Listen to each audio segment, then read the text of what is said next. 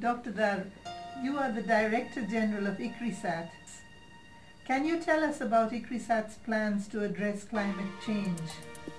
Yes, and let me highlight that the semi-arid tropics are known for erratic weather, so our research focuses on helping farmers to cope with variable rainfall, warm temperature, and poor soils.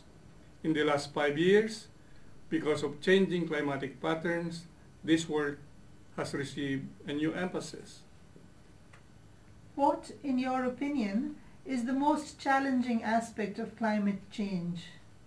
The most serious challenge of climate change is its impact on the livelihoods of thousands of poor farm families who are totally dependent on rain-fed agriculture. These farmers are vulnerable to drought and floods. If this become more frequent, the impacts could inflict damage to global agriculture. So what can ICRISAT offer to help solve this problem? We face the threat that existing environments may become unsuitable for the cultivation of some crops. So we need to adapt. ICRISAT has developed crops that are tolerant to a warmer world. For example, our super early chickpea varieties escape terminal heat and drought. Our sorghum and millet hybrids can already tolerate very high temperatures. Our watershed interventions help farmers to overcome both water waterlogging and insufficient rain. But let me introduce our Deputy Director General for Research, Dr. Dave Hoisington, who can elaborate on this issue. As Dr. Dar said, farming communities need to change the way they're doing things. ICRISAT has developed both short and long-term strategies to help farmers. In the short term, we need to help farmers cope better with the current climate-induced risks. Our research in Africa and Asia, such as enhancing reproductive stage heat tolerance, developing varieties with more vigorous root systems, breeding for adaptation to different ecologies, and conservation agricultural techniques are already helping farmers in exactly this respect. You say that in the short term, we must help farmers cope better with the risks of the current climate. Yes, absolutely. And what do you think the future will bring? Two things are important. First, we must recognize that predicting the precise nature of climate change and its impacts in different parts of the world is very complex. The world is definitely getting warmer, but changes in rainfall are less easy to predict, although we are witnessing more erratic rainfall patterns.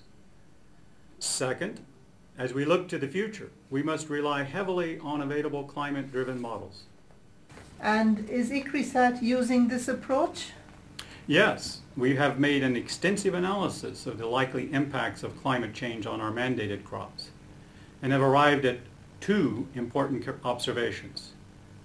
First, the impact of warmer temperatures on the yields under low impact input agricultural practices is likely to be relatively small.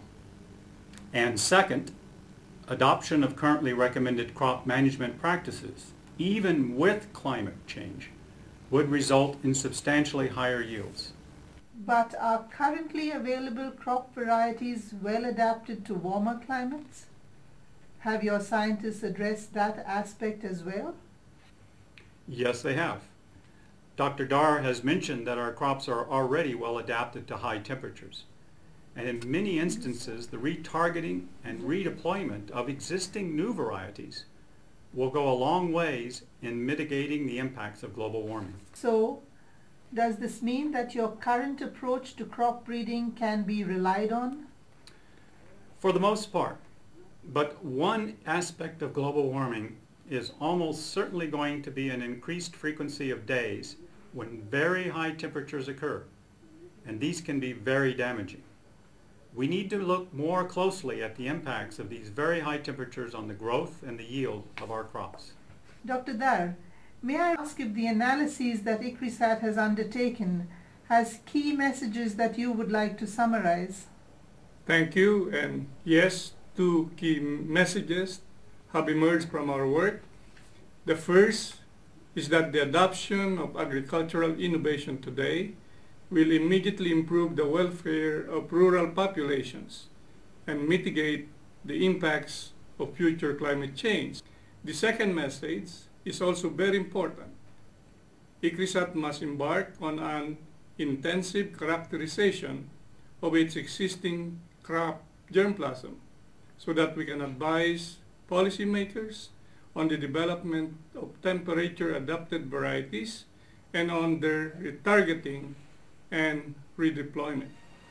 Dr. Dar and Dr. Hoisington, thank you both very much for your time.